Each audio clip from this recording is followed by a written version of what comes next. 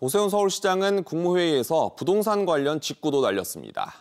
오 시장의 공약이 현 정부의 부동산 정책과는 많이 달랐던 터라 어떤 이야기를 했을지 관심이 쏠리고 있습니다. 정윤영 기자입니다.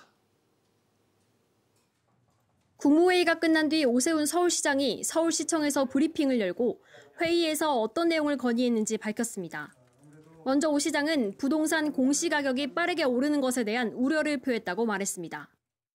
핵심은 공시가격의 상승이 아니라 급격한 향상, 다시 말해서 속도가 문제입니다. 그것으로부터 비롯된 재산세의 부담의 상승, 종부세의 상승, 건강보험료의 상승을 비롯해서 60가지가 넘는 국민 생활 부담이 나타났고 그러면서 오 시장은 관련법 개정과 제도 개선이 필요하다고 주장했습니다. 아파트 등의 공동주택 공시가격의 경우 국토교통부가 단독으로 결정하는데 이 과정에서 지자체가 참여할 수 있도록 개선이 필요하다는 겁니다. 이에 대해 국무회의에서 홍남기 경제부총리가 일부 지자체의 공시가격 문제 제기는 잘못된 사실에 근거한 것이 많다며 정부가 임의로 조성할 여지가 없다고 설명했습니다.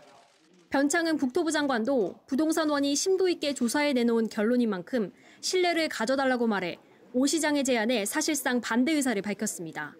그럼에도 오 시장은 관련 논의를 이어나가겠다는 계획입니다.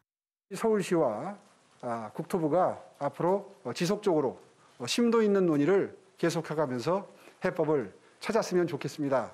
하는 취지의 반론을 말씀을 드렸고요. 문재인 대통령은 관계부처 간 협의를 통해 바람직한 해결 방안을 모색해달라고 당부한 것으로 전해졌습니다. SBS 비즈 정윤영입니다.